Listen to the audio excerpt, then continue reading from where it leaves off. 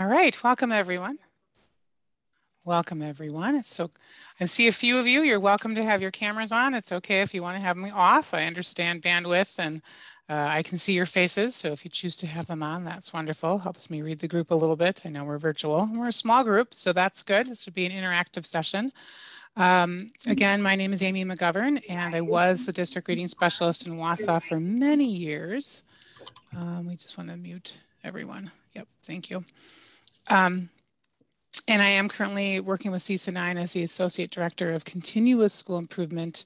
Uh, that's my official title at CESA 9. Passionate about all things literacy. I'm LETRS trained, direct instruction trained. I've actually uh, dabbled in OG for many years and during the pandemic finally had the time to start some formal training in that. So that's been fun. Um, and, and so I've, I've taught second grade, um, Title One reading teacher, be sure you mute. There we go. Um, Title One reading teacher for many years. So, so that's all kind of my background here. Still tutor students to help keep my teaching alive. That's very important to stay connected with students. So while I am familiar with the first, I and I've been using it with teacher groups this past school year. It is a new tool, and like all new tools, um, it's really important to recognize that there's a lot to learn about it. It's a big tool, there's a lot to think about. So some of the slides we'll use today are from DPI in their introduction of the first, and others are ones that I've created uh, based on my work with teachers and also just unique for this presentation. So what I want you to know is this presentation is really not the final say in the first. Uh, it's a jumping off point. Um, we're going to look through these the details of the document and really give you a good grounding, but you're going to need to go back with yourself and with your team and dig into this document um, over and over again because there's a lot to unpack. So this session will provide you with um, the purpose of the first. It will do um, we will dig into the design of the first and we'll talk about how you can use it with teachers and leaders in your setting. So I have shared the link to the slide deck. I'll throw it into the chat one more time for anybody who has come in late. Um, and you will need that today. In fact, you're going to want to make a copy of the, of the first document. So I have it open already, so I'm just gonna go over to my document and I will click, actually I take it back. I'm gonna share that in the, um, it's, there we go, copy link. I'm gonna put that into the chat as well. This is the public document that you're seeing on my screen. And you do want to make a copy of this. So just go over to file, make a copy and make it your own because then you can type on it and you can make it really personalized. When I'll ask you to do that uh, later in this today's session. Does anyone have any questions on how to do that? How to make a copy of this? I just, um, is there a way you could put it, um, I'm on my phone. so, um, because my husband has the other computer. I have a desktop right now. What would you suggest for that? Um, are you? Can I download it and email it to myself? Yeah, you can download it. You can email it to yourself. You can. I, I also recommend printing it. Um, I have a printed copy of it. It's much easier to process when you're reading it uh, in paper and you can take notes. So that's the other way to go. Uh, it okay. is about 40 pages long. So keep that in mind. Oh okay. dear. Okay. Yeah. yeah. it's a big document. yeah, going to use some paper. Okay. So uh, any other questions on, on how to actually get to the first document? All right. Yes, um, I'm not able to make a copy. Uh, that option is grayed out.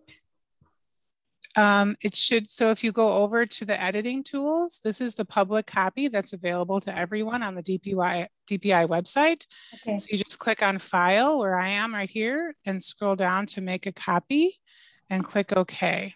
And then it's going to um, open a new copy for you.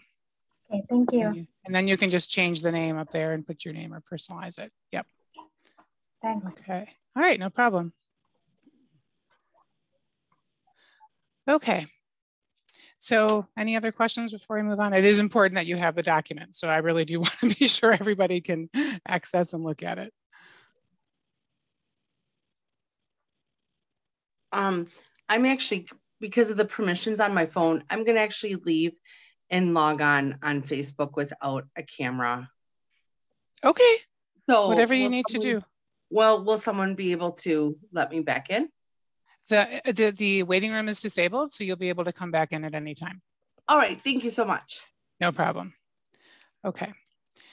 So the standards for the, the new English language arts standards are also um, relevant here. And that link is on the PowerPoint. It's also, uh, you can find it by just Googling standards. Um, I do recommend that you familiarize yourself with the new 2020 standards. Uh, they have been revised. Um, I was fortunate to sit on the chair for the, or to chair the team for the foundational skills group. So that was um, a great experience. And um, you'll see that the first is directly tied to these um, foundational skill standards. So if you have not had a chance to look at the new standards, I recommend uh, checking in with your CESA. There will be, and it's okay if you haven't, because um, this was just the first year uh, of the rollout. It's a three-year rollout plan. So check in with your CESAs because they do offer um, learning around the new standards and unpacking them.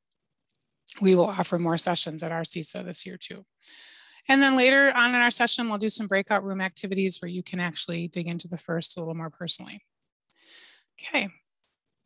So we're going to start with this purpose building section. And again, if you have any questions, be sure to just type them into the chat or feel free to, we're a small group, you can interrupt and, and let me know and we can and tackle those.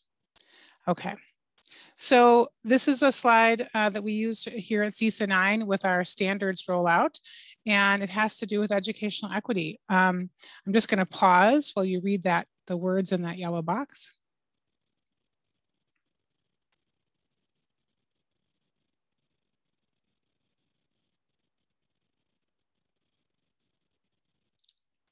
So when we think of the word access, we want to think about what does that mean for you in terms of um, closing the reading achievement gaps and, and a greater focus on the foundational skill standards and how we teach reading to students in kindergarten through grade two. What does the word access mean to you? You can either unmute or put your ideas in the chat.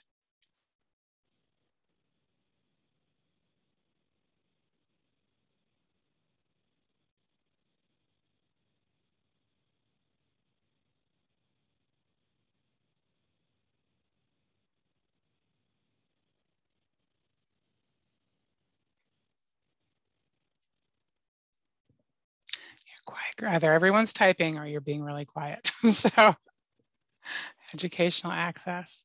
What does that mean? To have the right resources at the right time. It's a big deal, right? We want to be sure that students are receiving instruction uh, with what they need and that the teachers are empowered with the knowledge that they need in order to um, move kids forward. Okay, so I'm just going to keep going for now. If you have ideas, I'll come back to them. So for Wisconsin, again, this is our purpose building. Oh, thank you so much. I didn't wait long enough. Resources at their level and teachers that are capable. That's right, Anne. No barriers. Yes, very good, Donna. Mm -hmm. And there, and we do, um, the thing about the first is it's a great way to help you process perhaps barriers that you might not be aware that you have in place. So that's a good segue into our next slide related to um, MLSS systems. So for Wisconsin schools implementing the multi-level systems of support, it means that we're providing services, practices, and resources to all students um, based on what they need, right? Effective instruction and intervention is key at all three tiers. So in this system, high quality instructional is systematic, which um, in my mind, and what you'll see reflected in the first is that you must have a logical scope and sequence that you're working from. And, uh, and then it's also explicit. You're using strategic data, strategic use of data um, you're collaborating with your colleagues, you're interacting and facilitating student success together because it really does take a team. You'll see that in part five of the first, there's a couple pages dedicated to helping you review your MLSS system. So um, if that's a weakness in your school district or in your school, uh, I encourage you to really dig into part five and look at that MLSS system, those, those items. We'll come back to that shortly.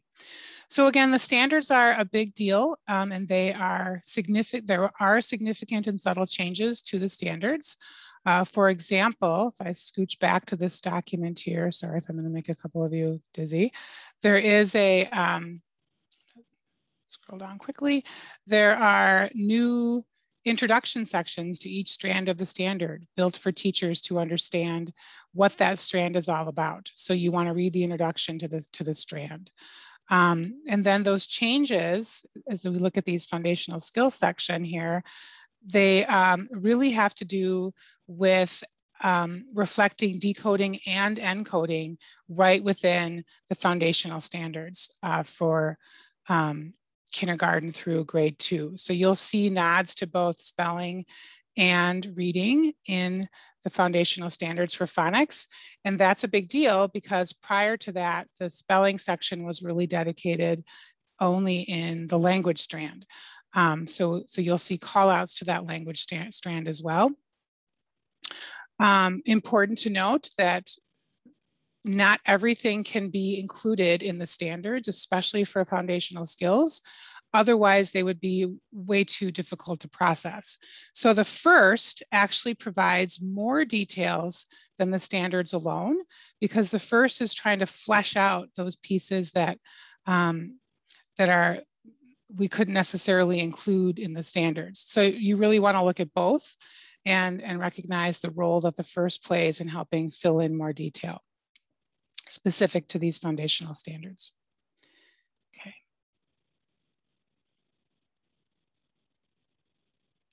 All right, and you've got some other documents here that you can unpack. Just keep in mind that there's a three-year rollout plan in place and nothing will change in our state assessments for probably three to five years. So it'll take a while for that to make, for the um, test to come into a full alignment with the new standards. Um, okay, so let's dig into more of the purpose of the foundational reading skills tool. So this was developed, it is a by DPI, it is a self-assessment tool and it's built on this vision of what it means to teach explicitly and systematically those foundational reading skills. Um, it has three big purposes. The first one is to operationalize that Wisconsin framework for teaching reading, meaning um, does your system include explicit systematic teaching of reading foundational skills? And what does that look like in place? How do you do it? So that first item is really about the how. Do you do it? And then how do you do it? The second purpose is to help school teams implement explicit and systematic foundational skills. So there's a systems look. Um, so you can look at it both from your teacher lens of the details you need to be effective and also from a systems lens. And then finally, kind of building on that systems idea, the third purpose is to help you monitor your growth over time. So you will be able to identify strengths in your current system, as well as areas in need of improvement, and then set tangible goals related to those targets. And all of this, of course, is based on teacher and leader feedback. So it's built around your system. Um, and you can, all right, so questions on that before I keep going?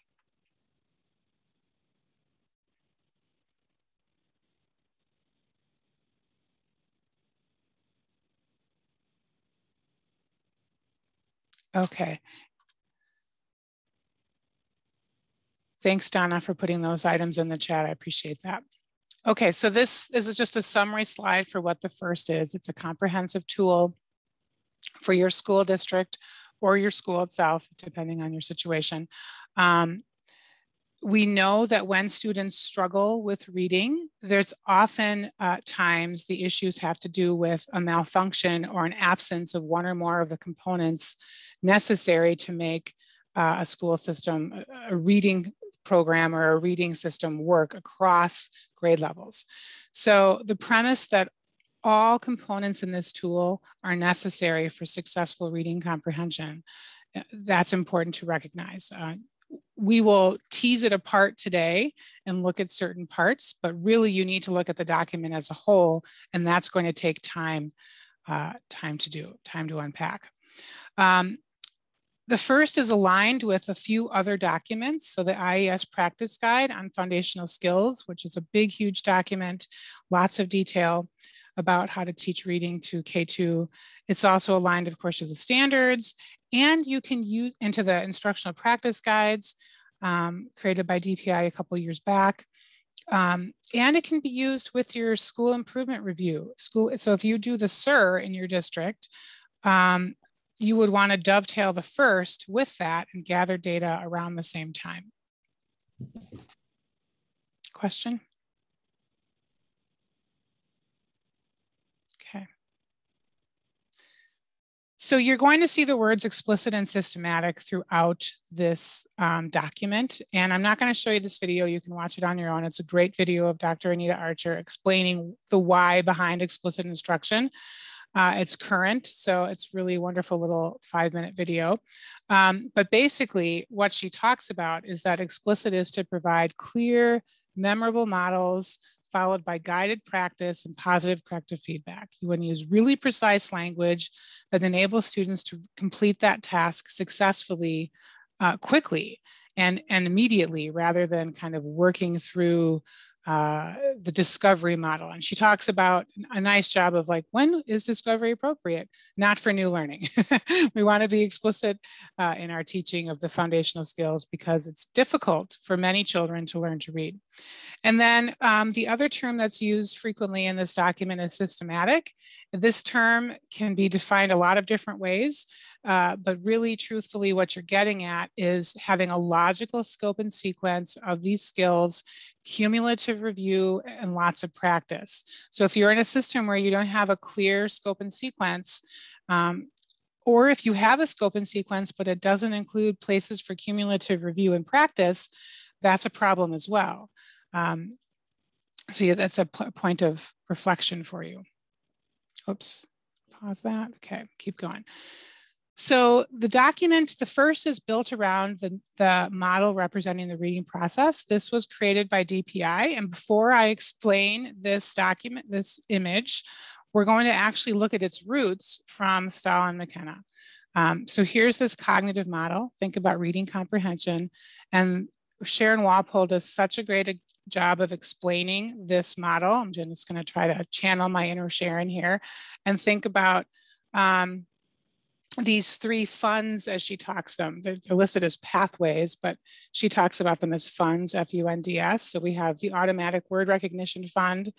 And in order to be automatic, of course, the goal is to be fluent, but to be fluent, you have to be good at decoding words and you have to build up this sight word knowledge. And then in order to do that, you need to have your phonological awareness in place and your print concepts. So you can see how it's working backwards. If our goal is reading comprehension, uh, and we you have to keep bouncing back to get to the heart of how you can get kids to become automatic at their word recognition skills. They have to build these skills. So that's fun number one. Fund number two is the oral language, vocabulary, background knowledge, and text structures. This at K2 is often built through read alouds. We're spending a lot of time reading rich language to students and getting to build to build their background knowledge through those experiences. We're also building their, their abilities to follow along with the story and process it. So that's represented in the first as well, background knowledge building, vocabulary knowledge. And then this third pathway is about strategic knowledge. Um, how do we apply, how do we understand what we're reading? So you'll see items on the first reflected on these pieces as well. Um, your purpose for reading. Of course, at K2, it's much more narrow because they're still learning how to uh, decode and process text. All right so let's so that's the cognitive model from Stahl and his colleagues. We'll come oh. back now and look at this model. Just double checking our muting on here.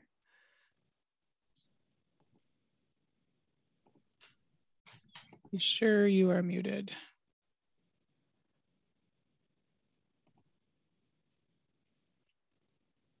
Uh, Mary, can you click the mute all button? On there? Just, just double check. I think there's one person who's not. I'm gonna keep going. Okay, so a model, so this is DPI's model and, and you can see that some added boxes are here, super important because that phonological foundational skills piece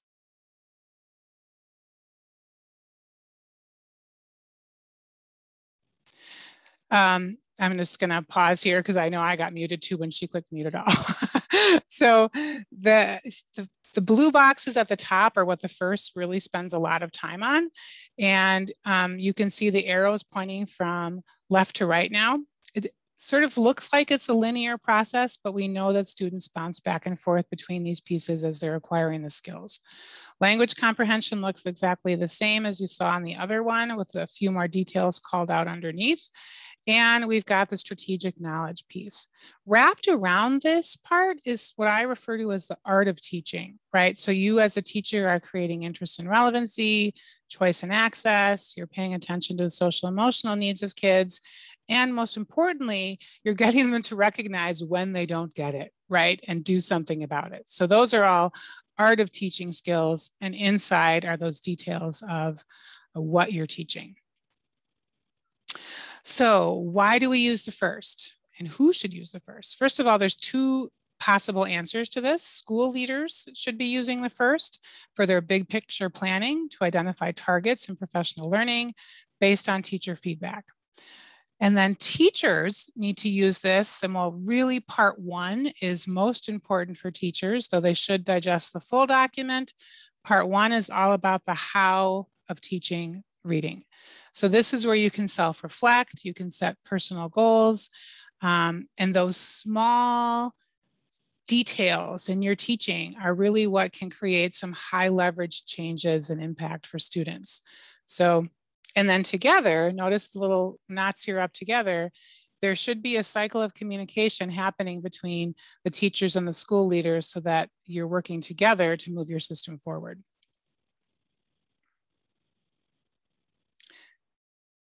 So who should use it? Again, we talked about individual teachers, and this would be all teachers who work with K2 as well as special ed, reading teachers, EL teachers, interventionists, um, because what you're looking from the K2 lens, but these other teachers are gonna also look from the struggling reader lens and think about their practices and how to move kids forward.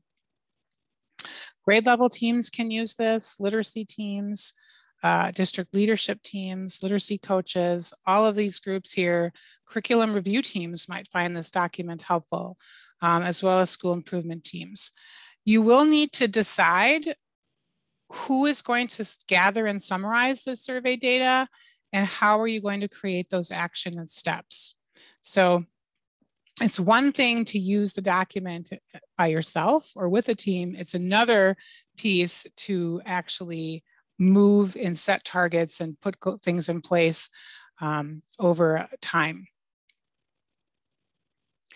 So in the introduction matter of the first, uh, the, the, designers of it um, from DPI suggest that you would use this one time in its entirety during the school year. So you might have those leadership teams, for example, complete the entire document in the spring of the year, in the summer or possibly mid-year when you're doing your SIR information. Um, but that's the goal to do the whole thing just one time per year. Uh, so as a school leader, you'd think about who should be doing it um, and when, and then how are they gonna gather the data? Uh, you can see that this is just a Google Doc, right? I think if it were me and I was in my old job as a district reading specialist, I would turn this into a Google form so that I could gather the data uh, more efficiently from teachers rather than um, collating it individually. So uh, that's just a thought for you is possibly turn it into a Google form. Um, teachers, however, like in the classroom, in the nitty gritty, you might want to be looking at part one and just tackling a couple sections at a time and setting some goals for yourselves on your teaching. So, and of course, these really shouldn't be happening in isolation. There should be um, communication between the team leaders, but it is a lot to process. So I think um, when I have used this with teachers, uh, teacher teams this past school year, we just did a few pages at a time. For some, some of that was because of time constraints and others and other parts of it were because it's so much.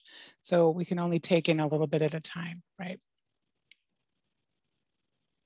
Okay, so do you have questions on who should use the document and when they should use the document?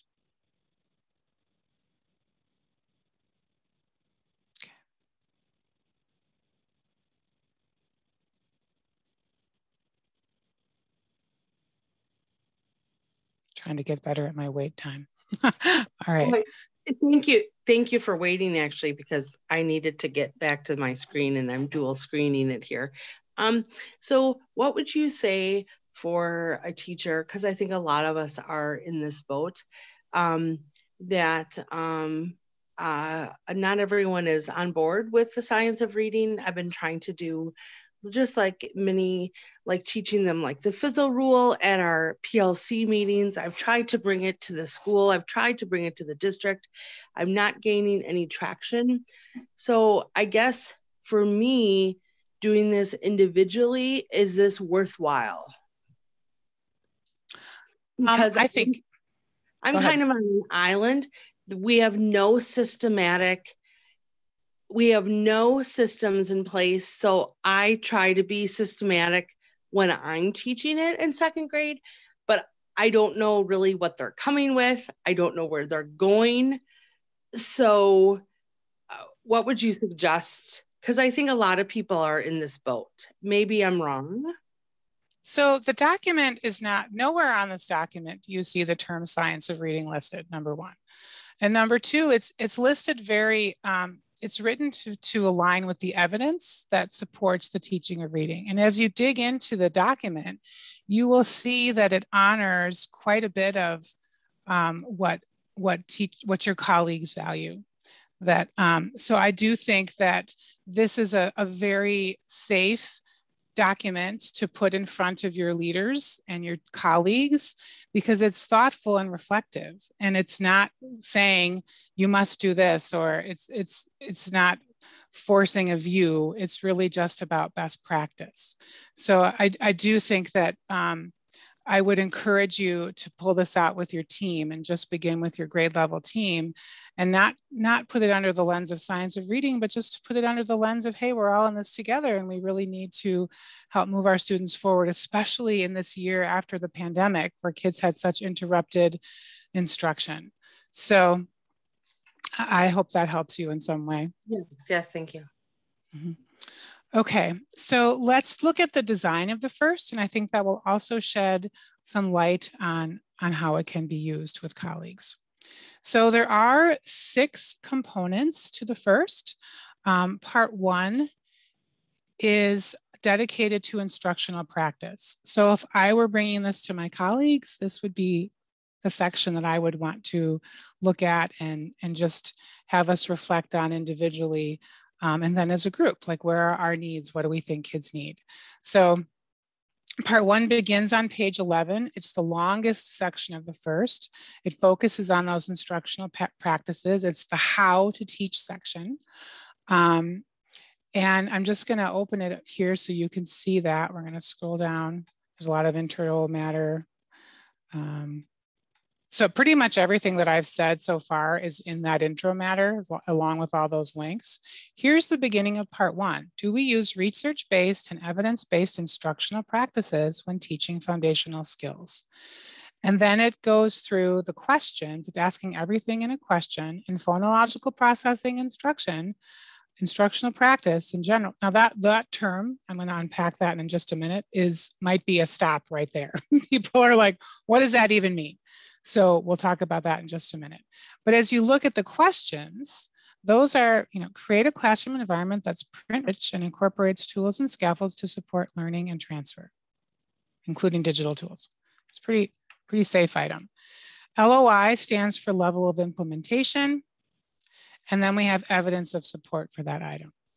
So this is just looking broadly, this first section, Um, ensure that 50% or more of instructional time intentionally includes application of skills taught across learning settings to promote transfer.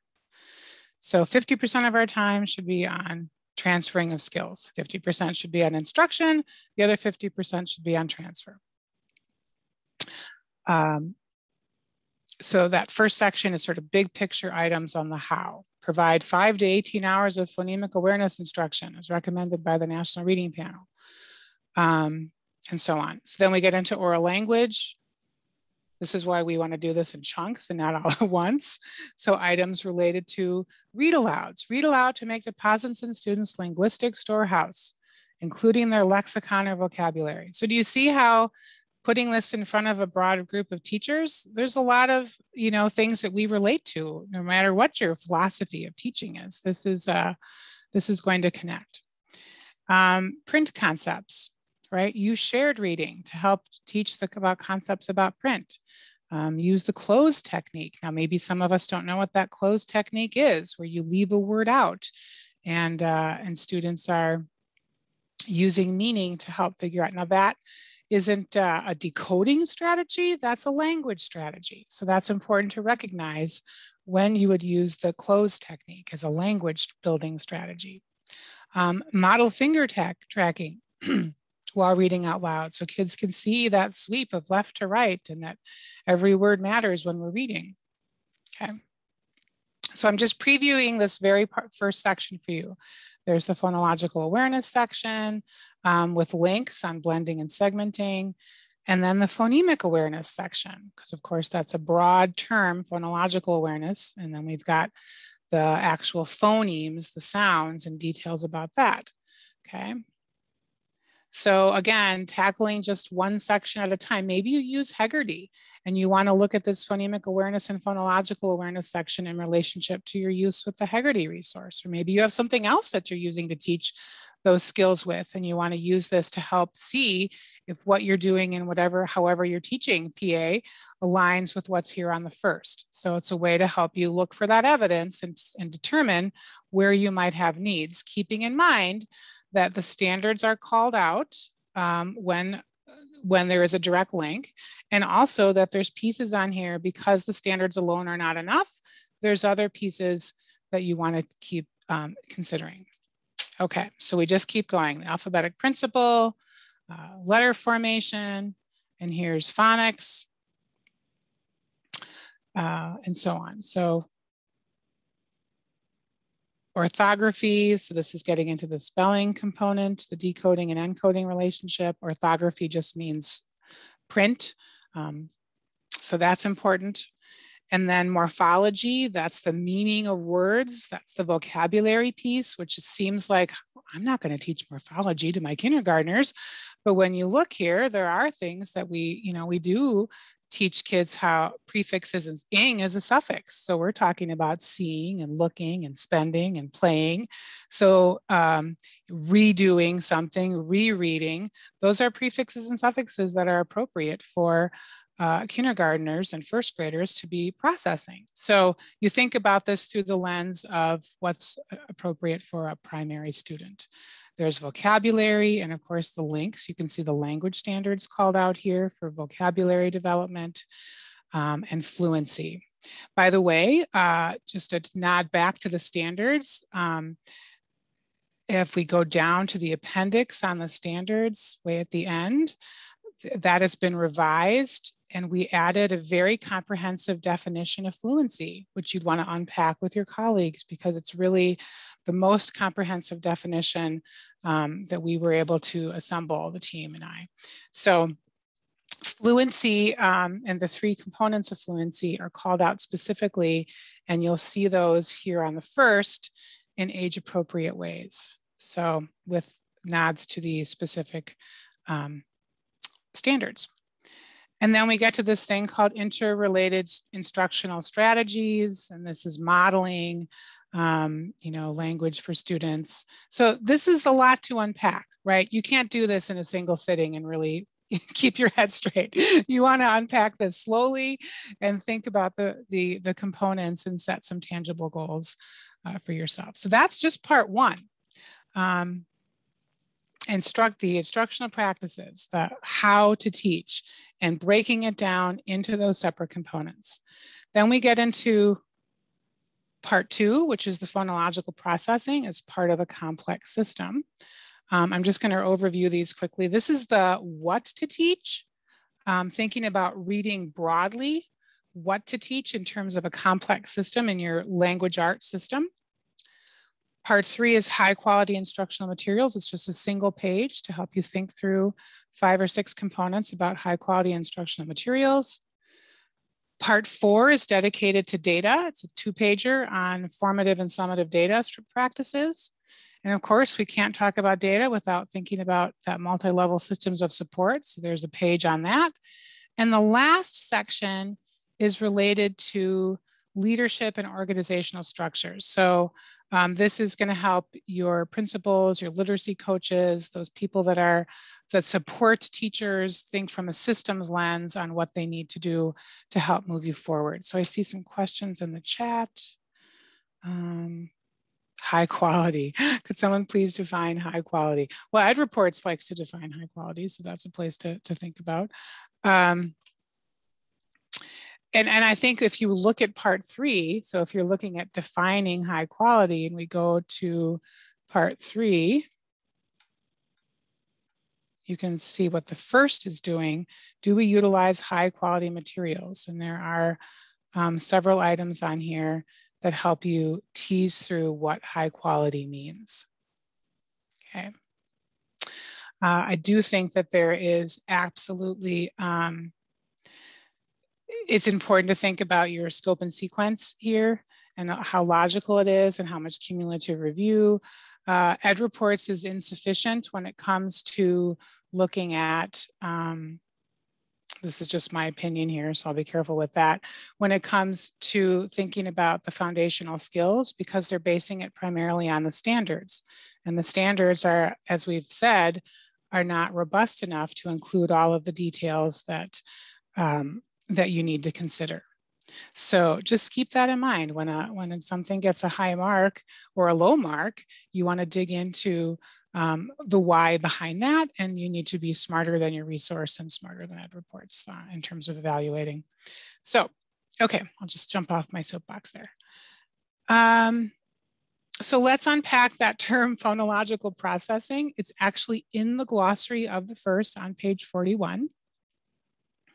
So just crash course on the brain. On the left side of the brain, that's our language processing center. We're not hardwired to read, um, but we are hardwired to speak.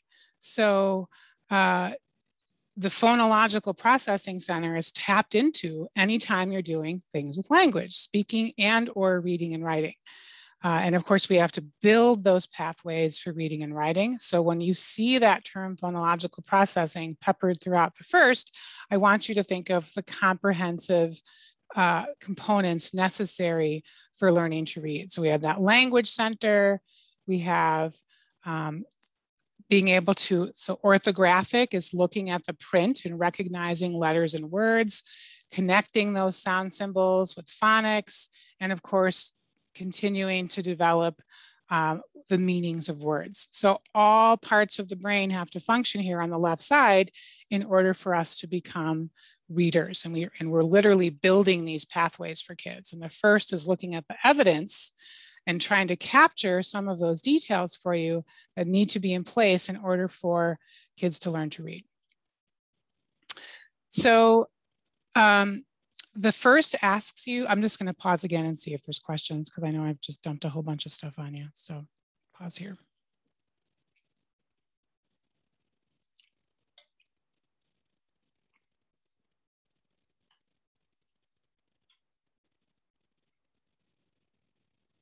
Okay. All right, we're going to keep going. Feel free to put your question in the chat. So what are those levels of implementation? So this is right from DPI, as you can see, and this is captured um, early in the introduction matter. There's descriptions of these not in place, purpose building, infrastructure, initial implementation, full implementation. Okay, so when you, so what DPI is asking you to do is to look at an item on the first and decide, okay, is this not in place at all? We would put NIP. Um, is this an item that we need to build some purpose around? What is the why behind this item? I put a PB there. Infrastructure would be, we have started to do this uh, and we need to be um, thinking about what needs to be supported for teachers. Do they need more training in this? Do they need, uh, do we need to put some literacy coaches in place or uh, what needs to happen in terms of the infrastructure uh, and to support this piece. Maybe we need to think about the schedule, for example. Um, maybe that's a barrier for something not working. Yep, I'm just looking at my notes. The printed copy is so useful. So the infrastructure piece, my notes say it's capacity building. This is on page seven of the document.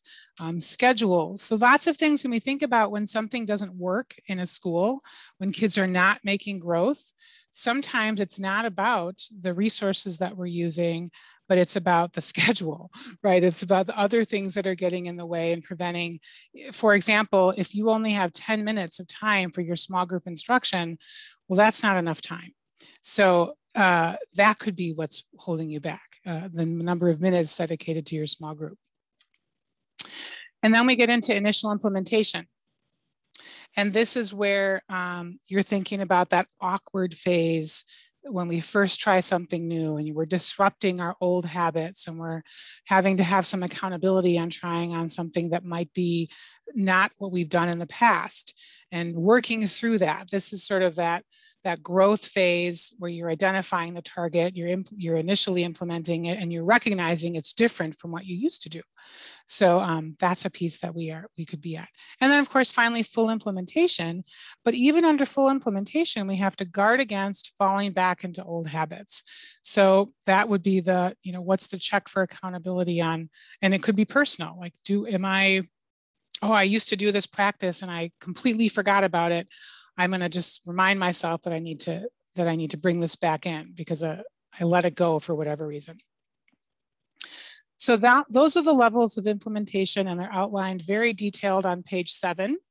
Um, and I do think that school leaders and even teachers could use those levels of implementation uh, when I used this with teachers in my setting, because we it was wrapped around other learning, um, we just did something a little more basic. And I asked teachers to read an item and put a plus if they totally did it. Like, yep, I know what this is. I do it. I can identify where in my schedule I do it and what I'm using it with. They got a plus if they knew what it was but didn't do it, and maybe because it wasn't appropriate for their grade or um, their group of students that they had didn't need that anymore, then they got a minus. And of course, the question mark either I don't know what this is or I'm not sure uh, where it's done either way. And if depending on what your why your question mark is there, you'd want to give yourself a little annotation uh, as to why you put the question mark there.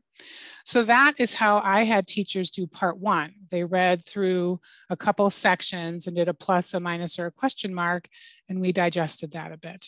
So that's a very friendly way to do it.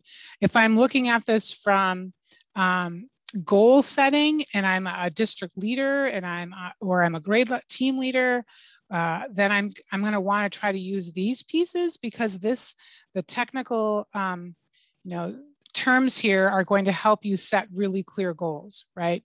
From a systems perspective.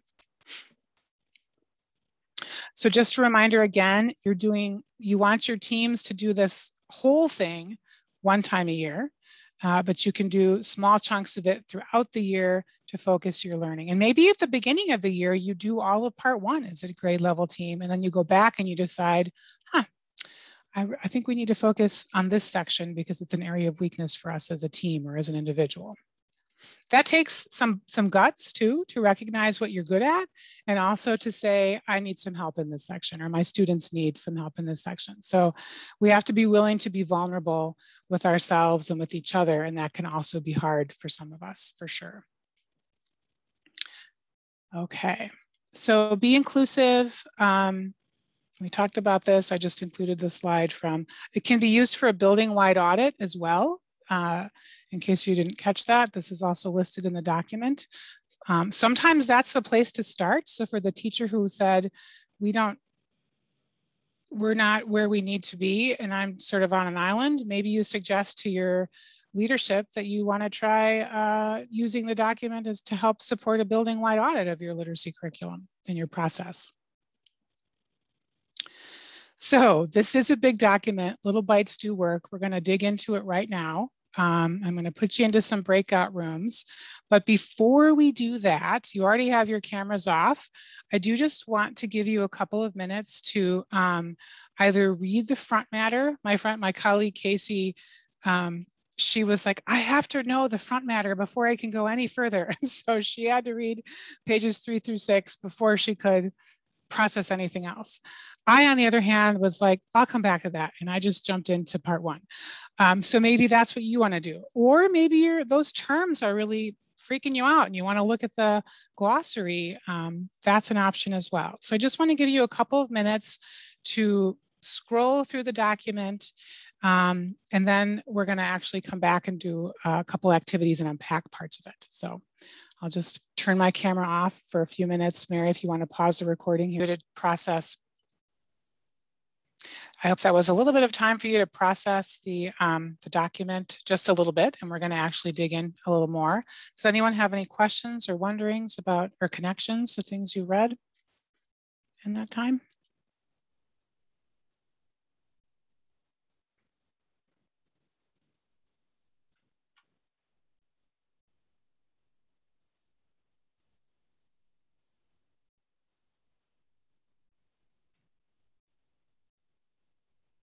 Okay, we're going to keep going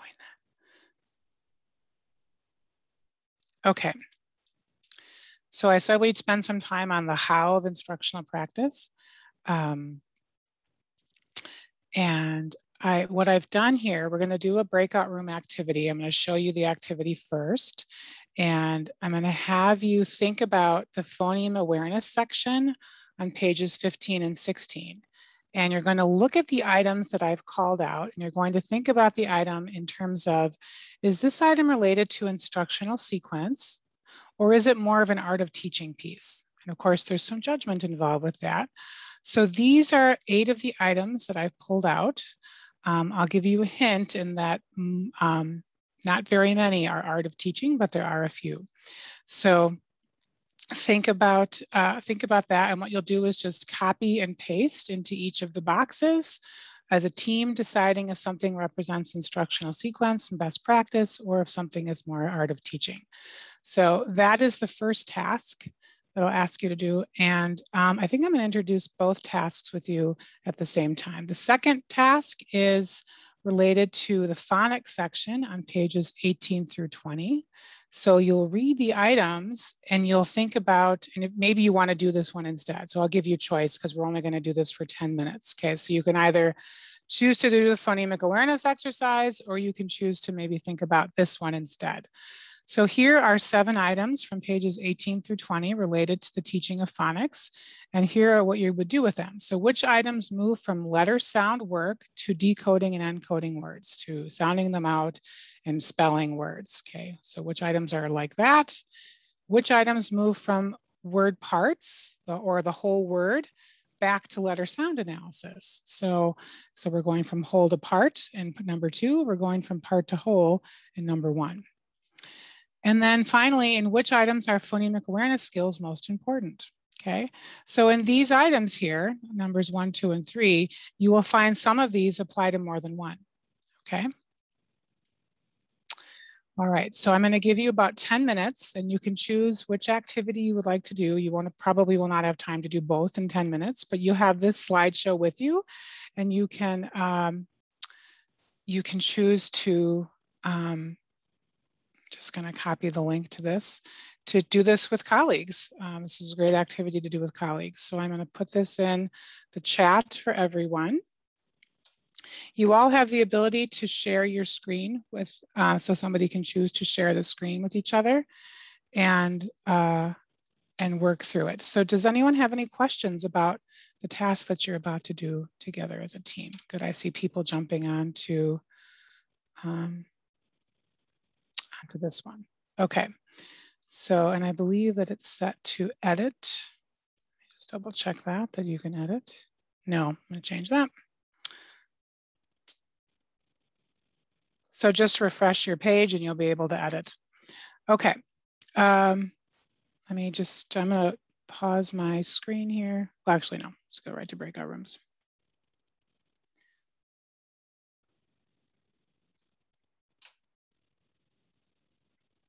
Three, four, five, six, seven, eight, nine, 10, 11, 12. So we will do, um, I'd like you to be in about groups of four. So there we go. All right. Um, and then you can, you'll see room one, room two, room three. You can just go to group one, group two, group three. That's the way that'll work. Any questions before I send you off to the breakout room?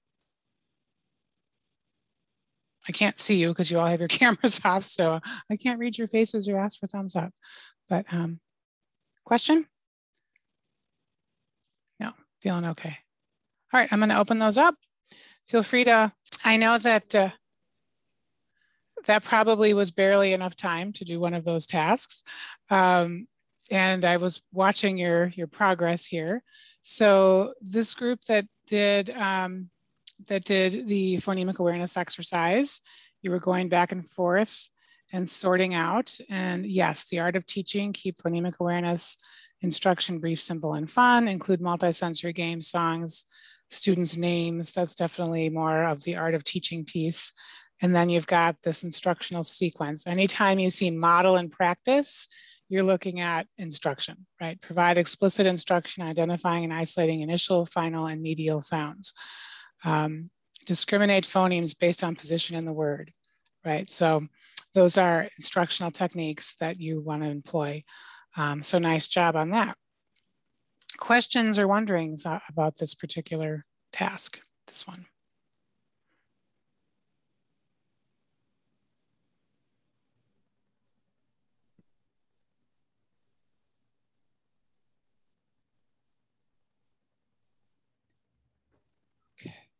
All right, the other task was related to um, phonics. And this was looking either uh, part to whole, letter sound to decoding and encoding words, or whole to part, looking at the word and teasing out the, the sounds that you'd need to write to um, Okay, so, and then the last part was in which items are phonemic awareness skills most important. So you could put the numbers down here underneath this yellow box, or you could do what these guys were working on, which was to, I'm looking for where you wrote your answers in. Yes, you put your answers in, um, provide opportunities to apply letter sound knowledge to decode and encode familiar words, moving from part to whole, that's right. Um, You've got some of the other ones, instruct students in common sound spelling patterns. Uh, so phonogram lists, word building, word sorts, this really it would be both because you need to both decode and encode the words to do common sound spelling patterns is going to be the part, but putting it together in words and word sorts would be hold apart. So both. Mm -hmm. Teach students to use single syllable patterns to develop syllabic analysis. Um, part to whole, right? Single syllable patterns to syllabic analysis. Yep. Um, teach regular and irregular high frequency words so that students can map speech to print.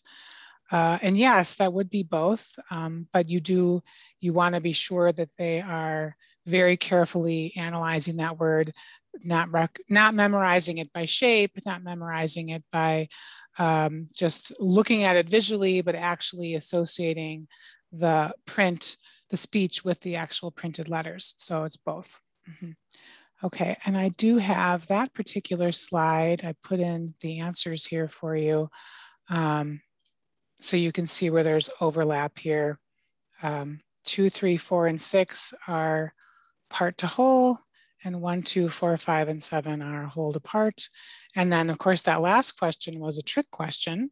Um, phonemic awareness is important for all of these. To be a good reader and speller, um, you'd need to have very well developed phonemic awareness.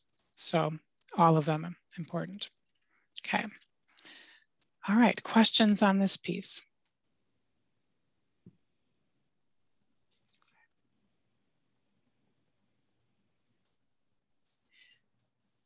So in summary, um, I know that we had our Okay, thanks. Thanks for letting me know you have to go. Um, in summary, you need to hopefully you can answer these questions, right? What is the verse? How is it organized into those six sections? Who should use it? Um, how often? How often here?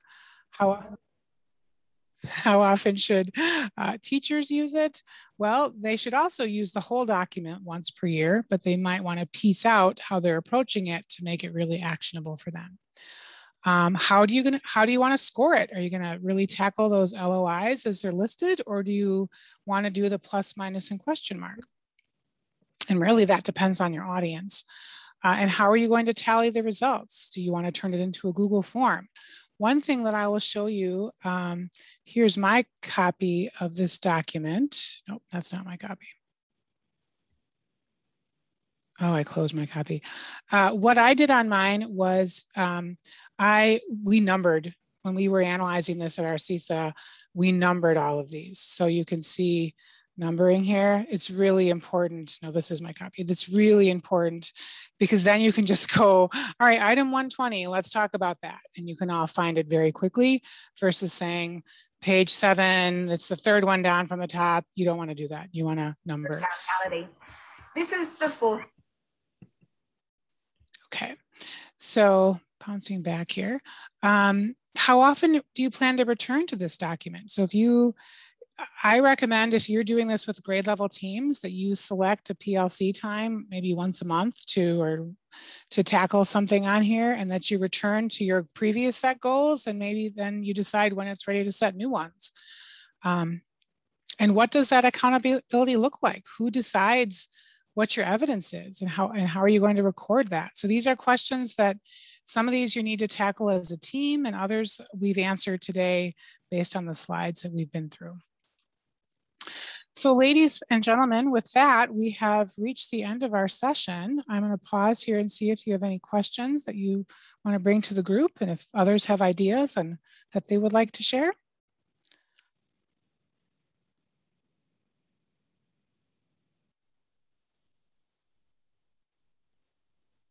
Mona, it's good to see your little screen in there. Oh, I'll pause. Go ahead. Yeah, I just wanted to say I'm really glad that um, Wisconsin is recognizing the need for this and that we can all get on the same page. I, I think it's going to be a daunting task. I mean, it's just, this is so new for people. And, uh, you know, I, I don't know you know, three years is a long time to roll it out. I would like to see it done yesterday, you know. you know, three years is for the standards. Three years is for the standards. Uh, well, not for this document. Yeah. But even so, um, you know, as you know, Amy, you know, the CESAs are just starting to even recognize the need for this. And so we've got, you know, we've got two CESAs out of 12 that are on board. We've got a long way to go. And um, I don't know how that process can be um, you know accelerated but you know it's it's a start. And i appreciate the people that did show up today or the people that are going to watch this recording because um, you know our, our wisconsin science of reading and task force site as well as the reading league are instrumental in getting this message out to people. And um, it's real critical that we that we keep spreading the message and spreading the news and I can tell you that having used this document with teachers, it, there's so much to unpack that it's really important um, to thank you, CESA 5. I'm glad you're using this work as well, Dawn, that you're here. Um, uh, it's just really super important to to take the time to unpack the terms. Like what do they mean? What what do these items mean? Because i think it's very overwhelming. Teachers get really stuck and bogged down in the weeds. And um, you know, just to uh, to build the capacity to really process this is important. well, time. I agree, and it you know the terminology is so new. Even though you've heard it, do you really understand it? It takes time. It takes mm-hmm. time. Mm-hmm. So. And that's where the goal setting is so useful here because in and and the willingness to be vulnerable and to to say, you know what, I think I know what this means, but I but I'm not entirely sure, or I need some more information on that, or um, what does that look like in practice and and not not to be afraid to to say that to be vulnerable with yourself and with your colleagues and that maybe there's more to know on on some parts of reading and that uh, you know you overlooked or, or didn't or never taught maybe so for sure yeah Yeah. Thanks, Amy. Nice, nicely done. Thank you. All right. Any other questions, comments, or wonderings? Um, are we going to have future events that tag onto this? Uh, we certainly could if, if, people are interested in doing other more learning around the first uh, or um, DPI does have a webinar series related to the foundational skills that the first one is about the first, includes information on the first. Um, they're they're basic, but they're useful as a jumping off point, especially for newer teachers. So uh, mm-hmm. that's not a bad thing to to explore. Um, and all of the CESAs will, you know, are continuing to provide training and work around this as well, as well as lots of other um, learning opportunities uh, across the state too, in the country that um, so many are available for for free or for low cost now to help build your learning. Donnie, you do a great job on your site sharing those out with, with folks. Um, you know, that IES stuff is just amazing. It is mm-hmm. so amazing. I really encourage you all to look at that. Um, and I was planning on doing some sort of unpacking of that in the future, you know, because you can look at that site and go, whoa, there's so much. But unless you really dig into it, and I thought would be kind of a fun activity to dig into that with some people. So look forward to that. I'm going to be doing that on the Science of Reading site. Yeah, they, there are some really great resources on the IES site for foundational skills. Highly recommend look and some great video modeling too. Oh my gosh, um, it's mm-hmm. so awesome. Mm-hmm. Yep. Yeah, the Tennessee Foundational Skills Curriculum, also supplemental curriculum, also has some really great modeling of, of many of the things you see on the first. So that's another great resource to consider. Wonderful. I'll put that up. Um, mm-hmm. Did you put that in this document, the Tennessee? No, no, but I but I can. I can add it. Okay, cool. Yeah. Yeah, because that, you know, the more we can share out the more you know we'll share the miss the mission so absolutely okay. All right. Well thanks, thanks everyone for joining me on this mm. tuesday morning. Yeah